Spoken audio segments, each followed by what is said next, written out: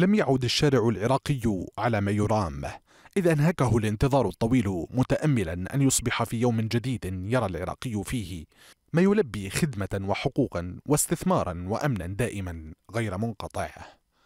أما مر الانتظار أو كما وصفوه بقهر وحرقة دم انتظار انفراجة البيت السياسي. وليس بحديث سياسي أو بفقه سياسي بحت لكنهم صوت شعب أطال الانتظار في قافلة البناء والوعد المؤجل حتى اليوم. هذا لسان حالهم باتفاق على دعوة عاجلة لشخوص السياسة وخبرائها بضرورة الإسراع في تشكيل الحكومة. لأن إحنا ملينا بزعنا وداذينا الاقتصاد العراقي دهور الوضع الأمني دهور يعني كثير من الأمور معطلة الآن. إن كانت تشرين بذرة فأصبحت نبتة. وبالعامية نقول إذا طقت هالمرة صعب. ونتمنى نتمنى نتمنى ما توصل هالمرحلة إن شاء الله.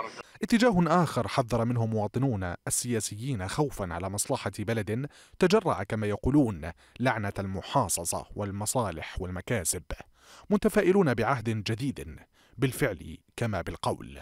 طيب فرحونا ما يحصل من محاورات لحد هاللحظة. أه تصريحاتكم أو مسؤولي الإعلام مالكم يقول لا تفاوضات ولن نتوصل إلى شيء، شنو السبب؟ المفروض يظهر لنا بطل كما فعل سيسي كما فعل قيس سعيد من أجل إنقاذ الشعب العراقي وإنقاذ الاقتصاد العراقي.